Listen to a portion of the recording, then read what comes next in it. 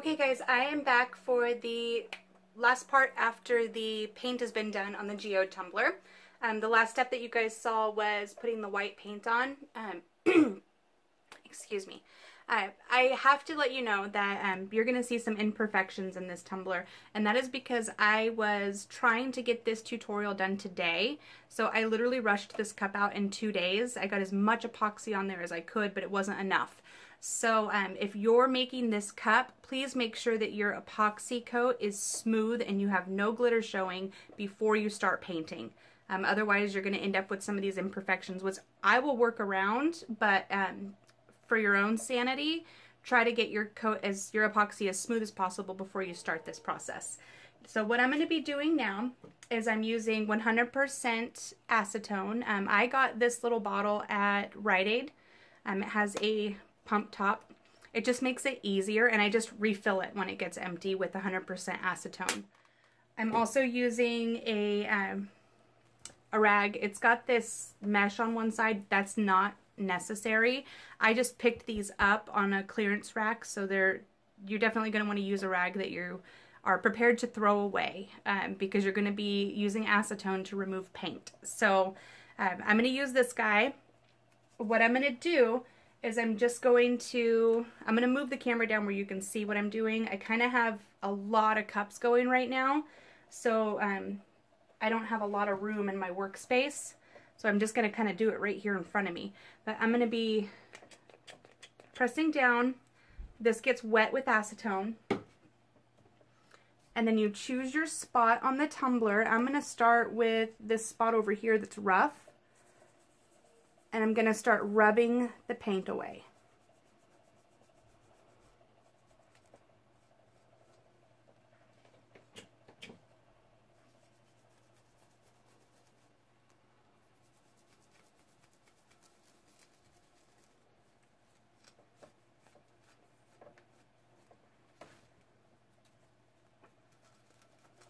I'll show you guys how to get rid of the paint around here too once I get this where I want it to be. Okay, so as you start rubbing, you start seeing that your paint, you're getting your paint off of there. It's exposing the glitter underneath. So you're going to do this all the way around the cup, however much or little you want to show the glitter. Now, to remove the paint swipes that get on here, if, if those are undesirable and you don't want those on there, use rubbing alcohol. Again, I put my rubbing alcohol in a spray bottle so I can just spray some on there. A little bit of rubbing alcohol won't remove the paint layers like the acetone does, but you can wipe off the areas that um, you don't want the over the paint going over and you can clean that up. Okay, so I'm going to go back to the acetone.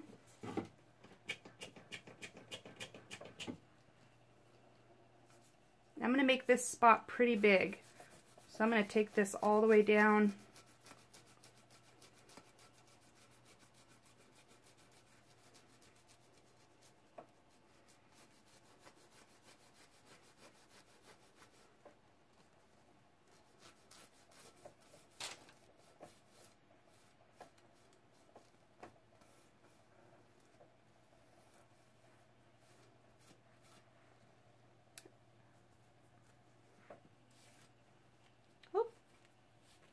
It's not what I wanted to do there, but I'll go back and clean that off with the alcohol.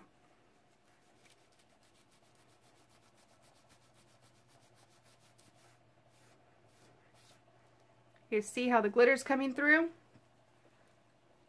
So I'm going to go to another spot now. Let's see. Let's go right here. Just start with the spot right in the middle and work our way out.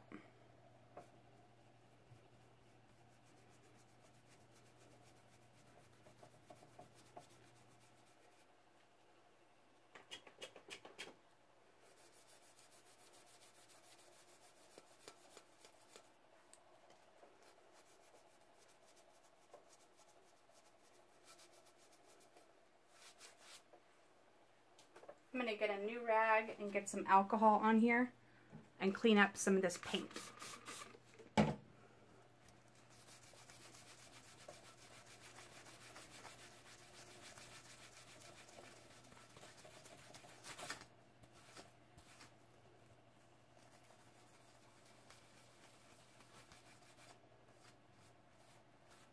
Okay. Got that cleaned off of there. Also, the last part, when you're all done, see this is kind of like, this is really shiny, and this is not. It's because I just went over that with rubbing alcohol. So if you go over your very last step, when you have all your spots marked off and you're getting ready for the last step, which is epoxy, go over your glitter with rubbing alcohol to remove any paint residue. It sparkles it right up.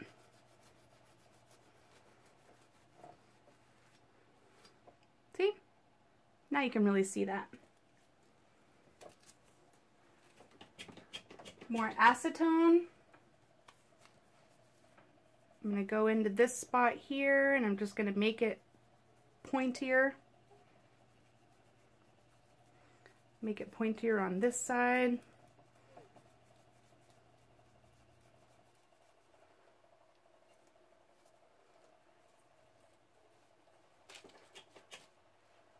We're going to do one down here at the bottom and take it all the way over the end.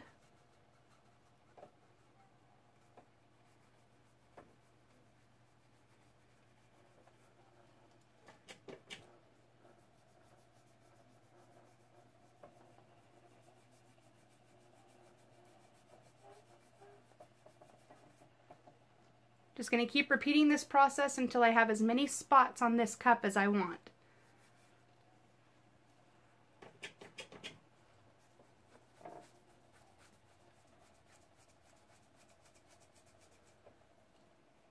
Keep moving to a clean spot on the rag and going back in.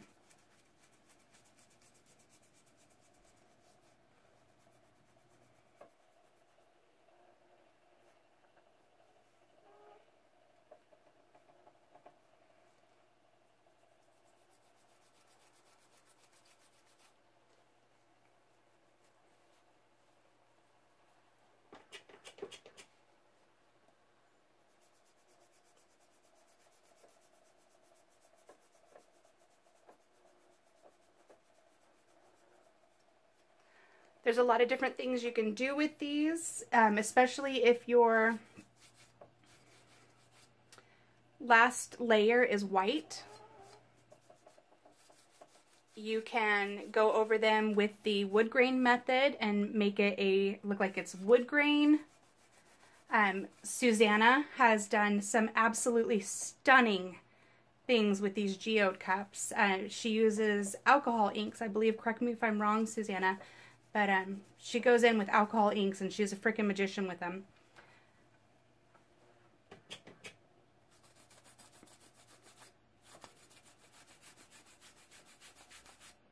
I'm just kind of going around and I'm spreading the the black. I'm spreading the black around a little bit. You can see up close. It, it's not really a lot. It just is kind of making it look a little rustic and I like that.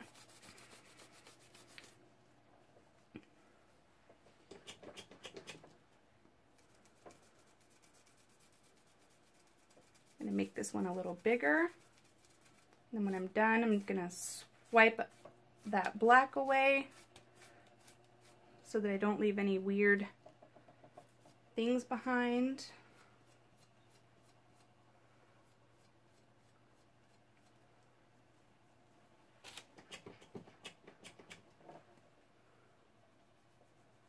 Gonna do a little one here in between.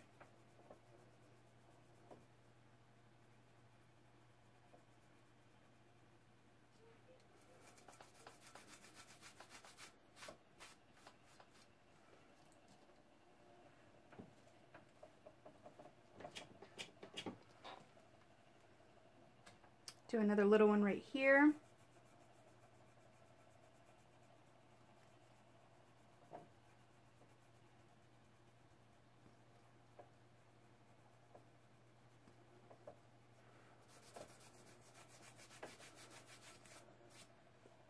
Okay. So you guys get the gist of it, right? You're just taking the acetone and you're wiping away the layers of paint to your own desired likings. Um, you want more, you want less, whatever it is that you decide you want on there. These are 100% unique, each and every one of them. I'm just going to take some rubbing alcohol on this and I'm going to go around and I'm going to polish up each of these little pieces where there's glitter because it just makes a huge difference.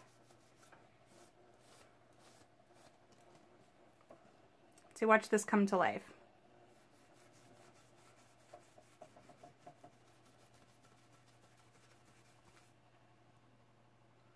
So much better, right? So if you forget to do that step, it won't be as sparkly as I'm sure you all are intending for it to be. The whole point of these is for them to sparkle, right?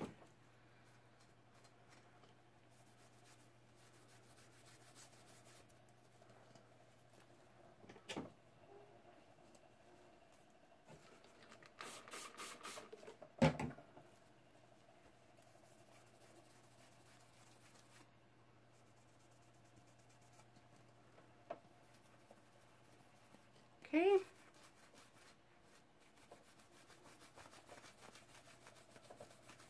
Just wiping off some of the black that's on here with the alcohol. Again, I like it brushed through the way I did because it makes it look kind of rustic. But I don't want too much of it on there.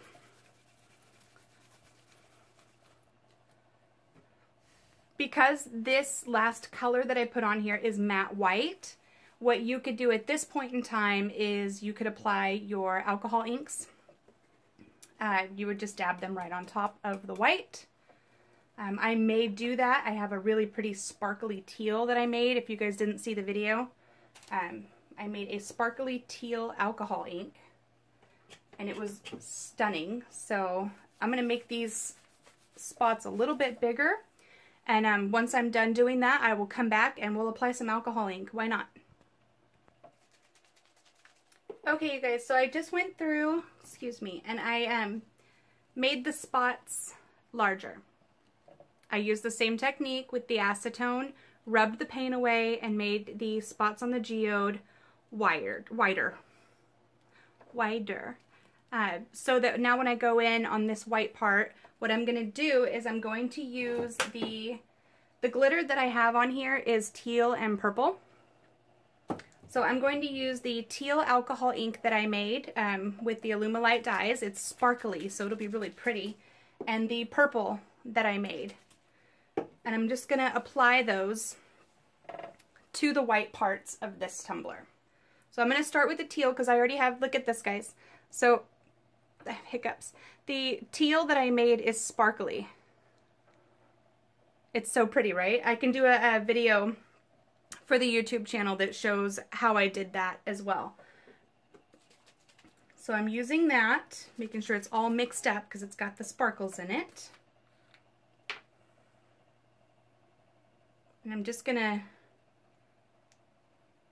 drop some on. And then I'm going to start on the white parts.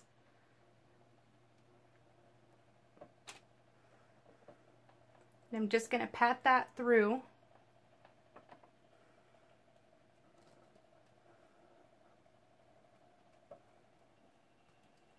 And on the bottom.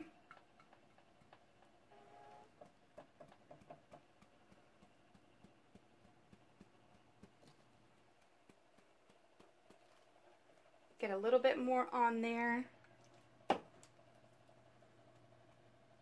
for this side.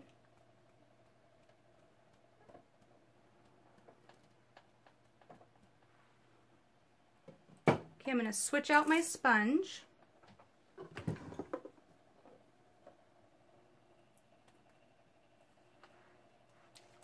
And I'm going to use the purple. Bring you guys down a little bit.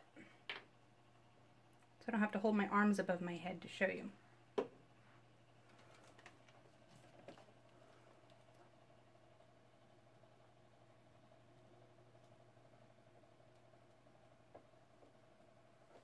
I'm going to dot that on.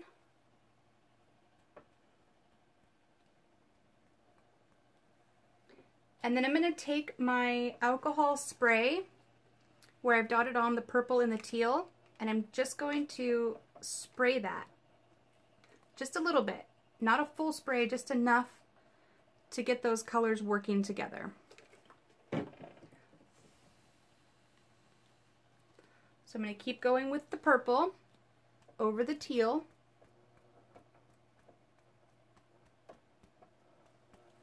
Put a little bit more purple on my sponge.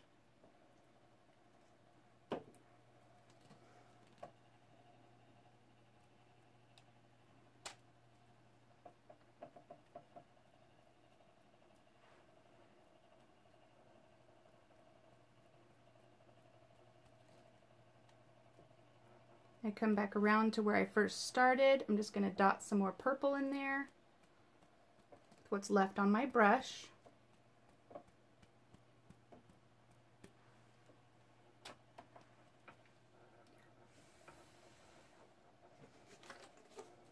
Actually, get the bottom with the purple too. I'm going to take the spray alcohol and on these spots like that, I'm just going to gently spray a little bit of alcohol onto them.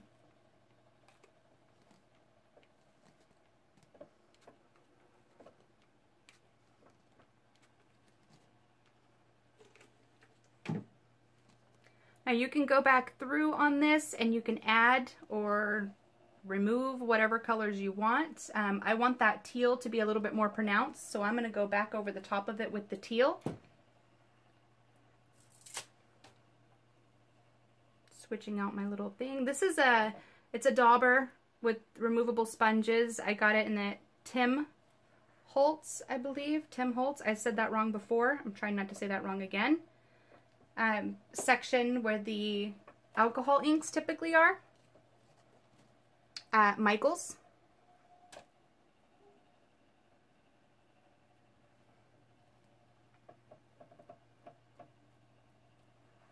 So I'm just daubing that in.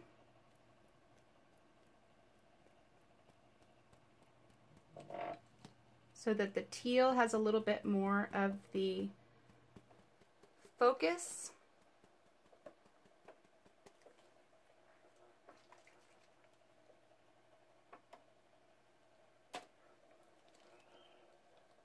See, it's a little bit more teal now.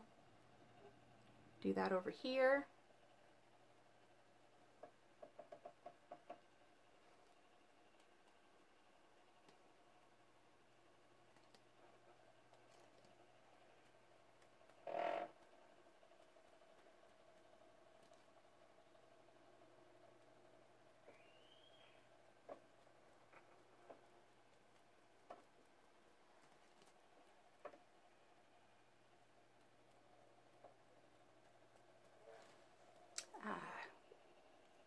Close that.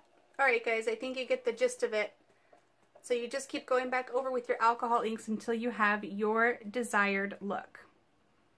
Now the alcohol inks are not necessary. You can um, you can do the alcohol inks or you can do paint or you can leave it white, uh, whatever you like. You could have stopped at the last step that I did, but we just decided to go ahead and take it all the way. So I will um, Try to post a picture of this in the comments. Last time I tried to do that, it wouldn't let me. So I will try once this is all finished. The last step is going to be to epoxy the entire thing. So what I will do is I will spray the entire cup with this sealant. And I'll just hold that there for a second so everybody can see what it is. So I'm going to spray the entire cup with this sealant to keep my alcohol inks from running and then the entire thing will get epoxy. Alright guys, thanks for watching. Um, the last step as far as the putting epoxy on this goes, um, that's just like putting epoxy on any other cup. So I don't I don't feel the need to add that to this video because it'll make this video very long. But that's it. That's all that's going to happen is epoxy is going to go on this after it's been sealed. So I hope you guys enjoyed the tutorial. I look forward to seeing many more geode cups um, in the future. Thanks for watching guys.